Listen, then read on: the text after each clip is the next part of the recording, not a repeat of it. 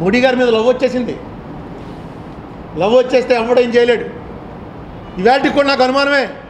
ఆయన మీద ప్రేమించినవాడు మన పిల్లాడు వచ్చి టపేరు మీద అంతే మన పన్ను ఊడిపోయినా సరే కొడుకు కొడుకే. ఆయన తిట్టం లోపళ్ళు సరిగ్గా లేవనుకుంటాం. ఈవేళ అలాగే వచ్చి మోడీ గారు తంతున్నాడు. జనం ఆహాహా ఎంత బాగా తనడం కూడా నేర్చుకున్నాడండి. మనకి ఎలాంటి ప్రధాని రావాలి? మన్మోహన్ సింగ్ ఏంటంటే ఇలా కూర్చుని ఏదో చూడండి వచ్చి బూతులు తిడుతుంటే ఆ బూతులు మనం కూడా తిట్టలేం అన్నీ అబద్ధాలే. తెమ్మయ్య గారు నెహ్రూ గారు కొట్టేట కరియప్పని కష్టమైన కొట్టేట. లక్కీగా మీ ప్రెస్లో ఇంకా కొంతమంది వెంటనే నిజాలు రాసేవాళ్ళు ఉన్నారు కాబట్టి ఈయన స్పీచ్తో పాటు వాళ్ళది కూడా పెట్టేశారు. లేదా నేను కూడా నిజం అనుకున్నా అప్పుడు మనం పుట్టలేదు. శ్యాంప్రసాద్ ముఖర్జీ లండన్లో చచ్చిపోయట. లండన్లో చచ్చిపోయిన శ్యాంప్రసాద్ ముఖర్జీ అస్థికలు ఇక్కడ తీసుకురావడానికి వీల్లేదని నెహ్రూ గారు ఆపేసేట ఏం మాట్లాడితే అది మాట్లాడతాడు ఇంక నిజంగా జోహార్ అనమాట మనం చిన్న పంచాయతీ ఎలక్షన్లో కూడా చాలా ఆచితూచి మాట్లాడతాం. ఎప్పుడైనా మీరనడానికి నువ్వంటేనే జనాల కోపం వస్తుంది. వీడు ఎంత శత్రువు అయితే మాత్రం నువ్వనేస్తాడా పెద్దాన్ని పట్టుకునని. మన మోడీ గారికి అవేం లేవు. ఆయన ఏమైనా మాట్లాడగలడు? ఏమైనా చేయగలడు? ట్రైన్లో చచ్చిపోయిన సవాల్ని రాష్ట్రం అంతా ఊరేగించగలిగిన వాడు ఏమైనా చేయగలడు? ఎందుకు గోద్రా అలర్లు గోద్రా అల్లర్లు గోద్రాలో చచ్చిపోయిన వాళ్ళ గురించి కాదు. పోస్ట్ మార్టం అయిపోయిన శవాల్ని మొత్తం రాష్ట్రం అంతా ఊరేగింపు చేయించాడు. ఇది ఎక్కడ అన్యాయమయ్యా? మనం రూలింగ్లో ఉండి మనం ఊరేగింపు చేసి మనం law and order situation create చేయటమని?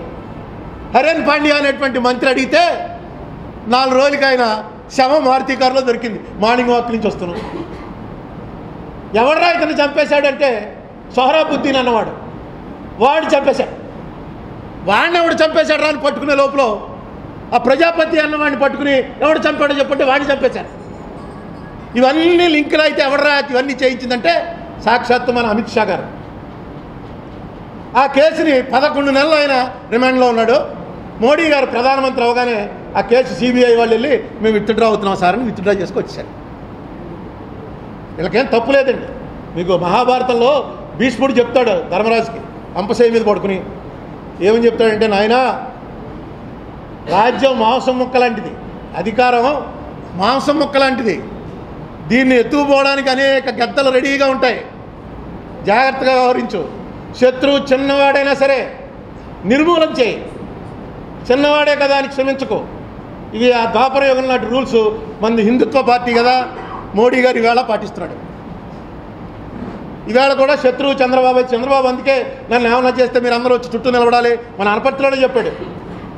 నాకు రక్షణ కవచంగా మీరు నిలబడితే ఎందుకంటే నాకేమవుతుందో తెలియదు నిన్న వాళ్ళ పార్టీ ఇంకో మంత్రి గారు చెప్పాడు చంద్రబాబుని హత్య చేయడానికి కుట్ర జరుగుతుంది. సో అంటే మోడీ గారు ఏదో చేస్తాడన్న భయంలో ఉన్నాడనమాట. మోడీ గారు మటర్ చేయిస్తాడేమో అన్నంత భయంలోకి చంద్రబాబు నాయుడు గారు వచ్చాడనమాట.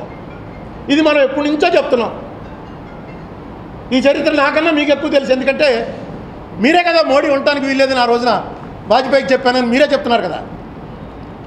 ఇలాంటి హంతకుడు అధికారంలో ఉండటానికి వీల్లేదని చంద్రబాబు నాయుడు గారు చెప్పారని ఆయనే చెప్తున్నాడు. హంతకుడితో నాలుగేళ్ళు ఎందుకు కలిసి ఉన్నారో మాత్రం చెప్పడం. ఏదైనా వస్తుందేమో అని ఉన్నాను ఏదైనా వస్తుందేమో అని ఉన్నాను. అందరూ చెప్తున్నాం నాలుగేళ్ళ నుంచి.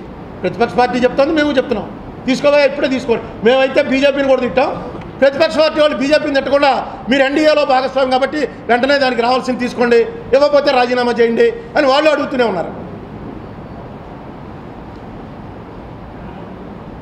ఇలాంటి పరిస్థితుల్లోకి రాష్ట్రాన్ని నెట్టివేసినటువంటి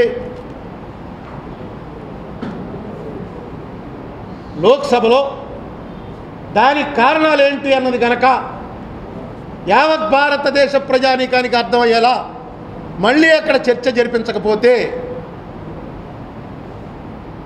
మనకి మనమే ద్రోహం చేసుకున్న